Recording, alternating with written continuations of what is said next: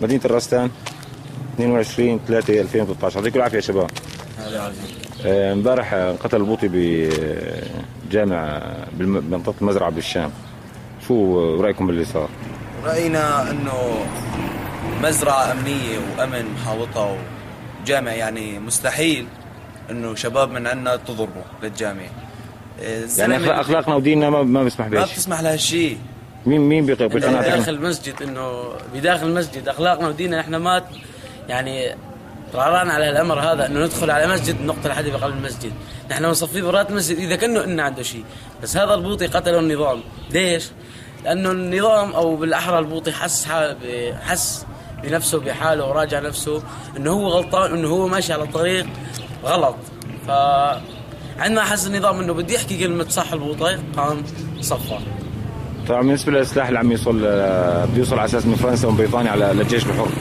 السلاح يعني عندما حست الدول الخارجية الأوروبية إنه الثورة راح تنتصر بإذن الله وبعونه تعالى فطنت تبعت سلاح برأينا نحن لو إنها بعتها بالأول. بالأول يعني ما كان صار فينا صار وما صارت هالمجازر وهالحكي هذا كله ما صار. يعني بتجي طيارة هيك بتسوي هيك راحوا خمسة معناتها نحن بدنا سلاح بس على الأقل موضوع إنه موضوع بدنا نحن مضاد طيران. أهم شيء مضادات الطيران.